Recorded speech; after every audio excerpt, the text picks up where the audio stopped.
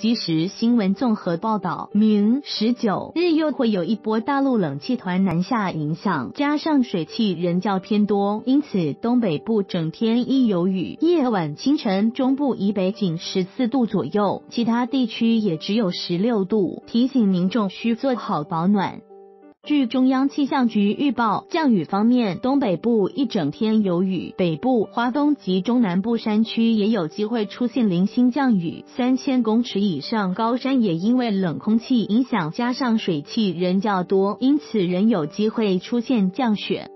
温度方面，夜晚、清晨中部以北低温约十四至十五度，其他地区十六至十七度。白天高温在中南部约十八至二十二度，北部及东北部约十六、十七度，华东约二十至二十二度。据天气风险指出，新一波干冷型冷气团在周三、四、五、二十至二十二日预期会有较低温十二、十三度可能成为常态，水汽云量减少下，很可能在清晨有强烈的辐射冷却，降到十一、十二度或是更低的可能性将增高许多。白天则会回温五至六度，温差变化幅度较这几日大许多，需多注意。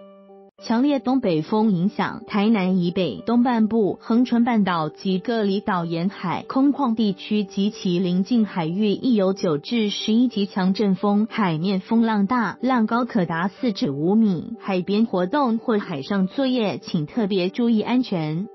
空气品质方面，明日冷气团南下，金门、马祖受境外污染物影响为。橘色，其他良好至普通指标污染物下五二五。